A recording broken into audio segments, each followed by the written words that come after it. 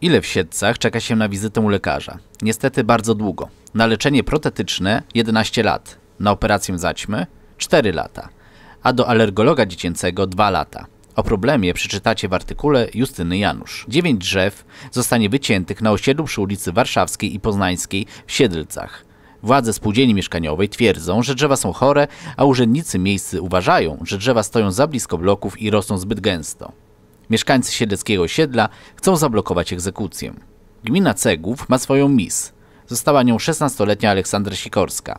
Z TS dowiecie się, co ją skłoniło do wzięcia udziału w konkursie, jak wspomina zmagania o miano najpiękniejszej, jakie są jej plany na przyszłość. W najnowszym tygodniku znajdziecie też rozmowę z Adamem Gabińskim, przewodniczącym Komitetu Organizacyjnego 21 Ogólnopolskich Igrzysk Rzeszenia LZS, które niedługo odbędą się w Siedlcach. Dowiecie się, jakich atrakcji można się spodziewać i z jakich względów prestiżowa impreza zagości w naszym mieście.